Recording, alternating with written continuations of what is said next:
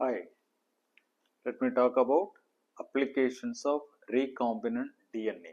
This is very very important, repeatedly asking five more question.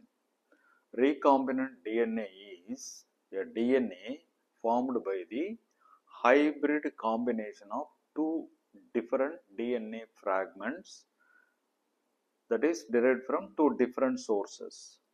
In vivo, the genes often undergo recombination. Okay, this is the definition for recombinant DNA. What are all the applications? That is, what are all the uses for this recombinant DNA? The first one is understanding the molecular basis of number of diseases like sickle cell anemia, thalassemia, cystic fibrosis, muscular dystrophies, cancer and diabetes.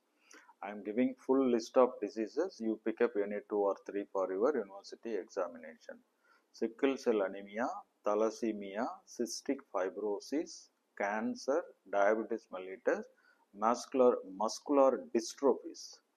That is understanding the molecular basis. Second one is screening test for some inherited disorders. Whether they continue or uh, about the child it will be useful. Then prenatal diagnosis by amniotic fluid analysis. This is also whether they want to go for the uh, pregnancy, continue the pregnancy or terminate the pregnancy. Then genetic counseling, very very important. After genetic counseling, they avoid passing defective genes to their offsprings. That is parents to their offsprings.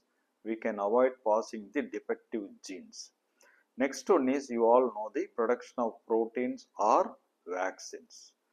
Here HIV protein for ELISA test, interferon and interleukins, cytokines and monoclonal antibodies. Very very important.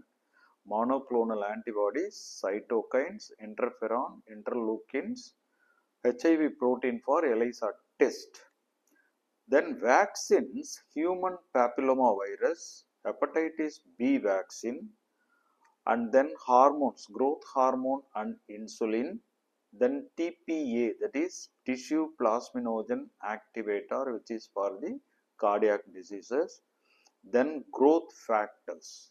These are all the important vaccines. Very important vaccine is HPV that is human papilloma virus and hepatitis B virus. Tissue plasminogen activator is another important point then finally gene therapy also be planned